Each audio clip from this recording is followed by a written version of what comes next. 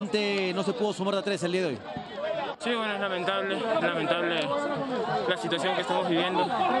No sé qué tan, qué tan merecido sea, porque la verdad creo que el primer tiempo fuimos superiores.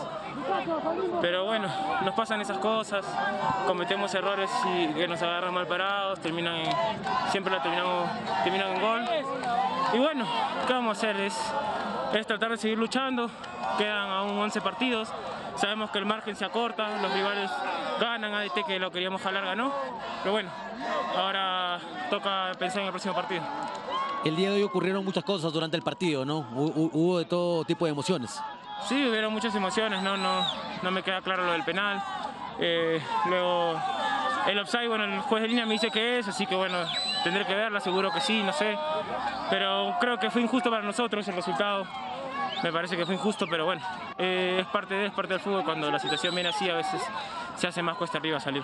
Mencionas que quedan 11 partidos, ha llegado un nuevo comando técnico. Esperan salir de, de esta situación Sí, ra- bueno. rápido y pronto.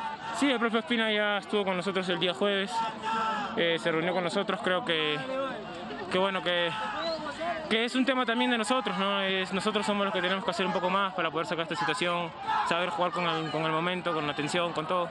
Así que bueno, esperemos que, que podamos salir adelante. Ahora tocan dos rivales de visita. Primero visitarán a UTC de Cajamarca y luego a Universitario de Deportes. Sí, sabemos que no hay margen, ya no, no, no se trata de jugar de visita, de local, no podemos especular en ningún campo. Así que esperemos poder darnos los tres puntos de Cajamarca. Listo, Aldair, muchas gracias. Gracias a ustedes. Compañeros, eran declaraciones de Aldair Salazar. Y también estamos con uno de los protagonistas el día de hoy. Estamos con uno de los protagonistas el día de hoy del conjunto de la visita de ADT de Tarma. Estamos con Kevin Serna. Kevin, buenas tardes, bienvenido a Gol Perú. Sacan un buen triunfo el día de hoy en, en la